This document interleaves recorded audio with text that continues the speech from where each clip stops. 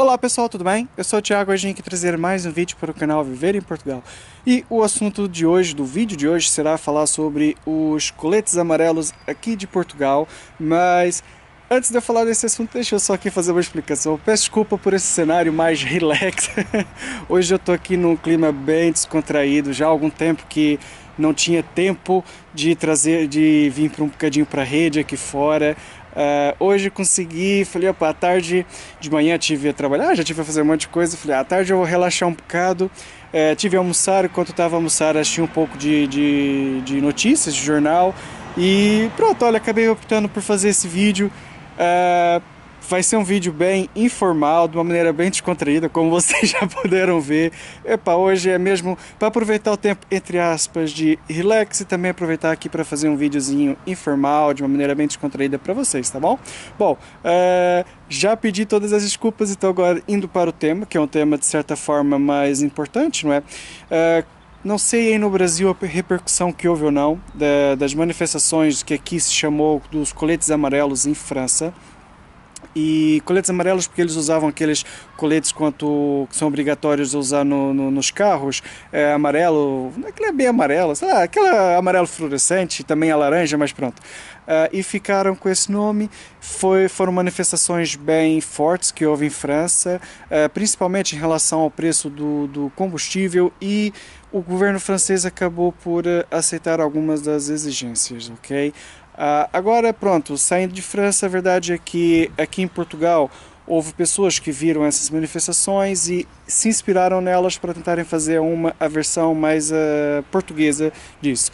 Uh, é assim, eu tive a ler e ver algumas reivindicações. Uh, na verdade, já abrange muitas coisas. Eu nem vou saber falar todas, não vou lembrar todas agora, mas é, especificamente tem a ver com redução do, do, do, combustível, uh, alguns, alguns itens do orçamento de estados que foram aprovados, eles querem que sejam retirados e também, eh, entre aspas, uma manifestação contra a corrupção. Pronto, houve mais algumas coisas, mas assim, aquelas que eu me lembro agora foram mais essas. E a verdade é que assim, a manifestação aqui em Portugal falava sim que ia chegar a, a fazer uma para, para, paralisação muito grande uh, em algumas cidades aqui de Portugal e que seria realmente algo muito grande. Ontem mesmo a, a polícia daqui, a PSP, informou que iriam pegar todos os agentes que teriam folga nesse dia, iriam tirar todos da folga para virem trabalhar para que não acontecesse nenhum algum tipo de situação desagradável. E a verdade é que, pelo menos agora, um pouco depois do almoço, agora são o quê? Talvez duas horas, uma e meia, nem sei. A, a verdade é que não, não houve muita aderência a essas manifestações. Uh, de manhã ainda houve algumas situações mais complicadas, por exemplo, uh, fecharam-se algumas autoestradas aqui em Lisboa, também na cidade de Braga e no Porto. Por exemplo, a minha esposa, eu tive a falar com ela, ela hoje até saiu mais cedo por causa dessa situação. Uh, realmente houve algumas pessoas que fizeram marcha lenta na autoestrada e sensivelmente o que é 7, 7 da manhã, 7 e meia. Realmente algumas autoestradas tiveram com o trânsito bem parado por causa dessa situação.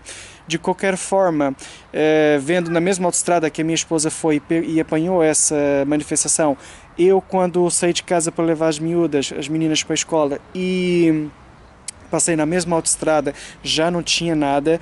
É, também verdade seja, dito, verdade seja dito que cada entrada da autoestrada havia muita polícia. É, realmente, eu quando saí na, na saída da autoestrada para a escola delas, notei que estavam ali cerca de 10 polícias ali parados, estavam a controlar a situação.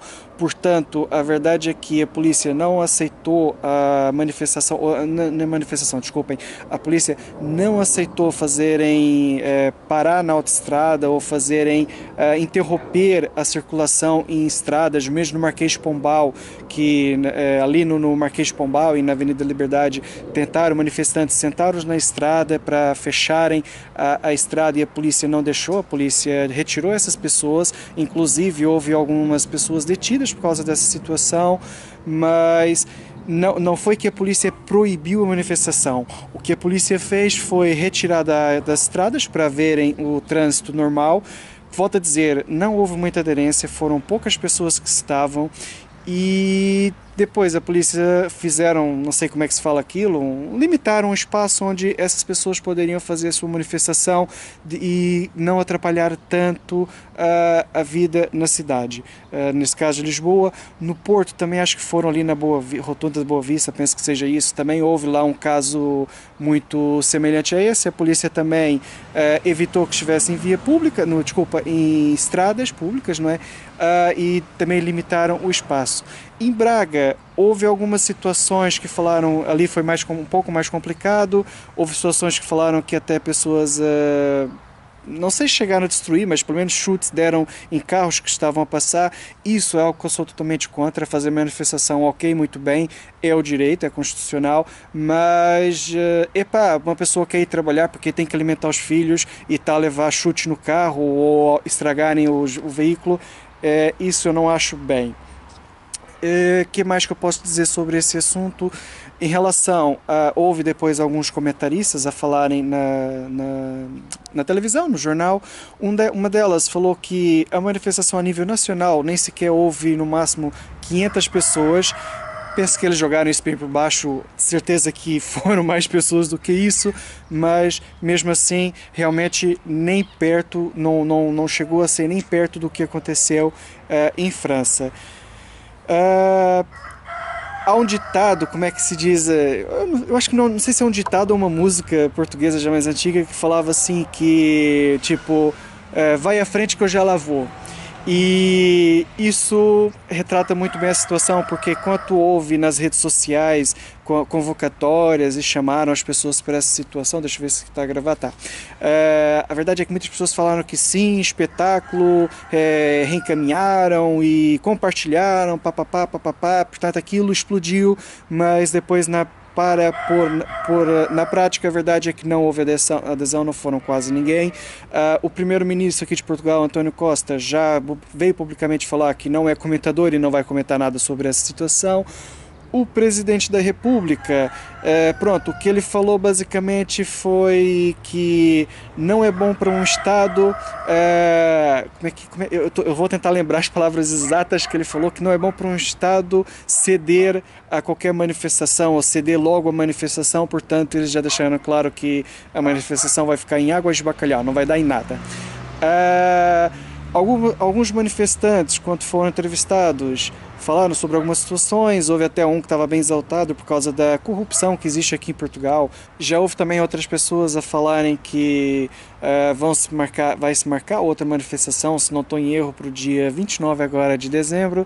Vamos ver se essa terá mais adesão ou não, ok? Bom, pessoal, olha. Uh, basicamente sobre o assunto e até o momento, eu também vou, vou, ser sincero, vou ser muito sincero que não foi algo que eu ocupei muito de perto.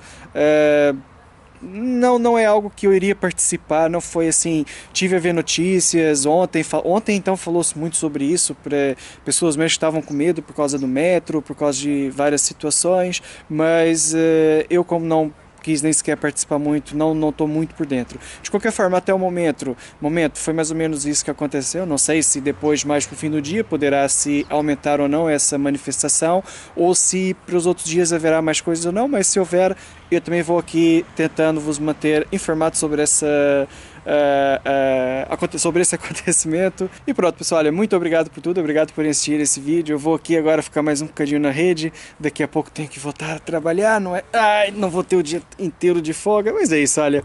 Até lá. Enfim, eu tô aqui já a falar baboseiras, mas é isso. Pessoal, muito obrigado por tudo e olha, tchau. Até o próximo vídeo, tá bom? Fiquem com Deus.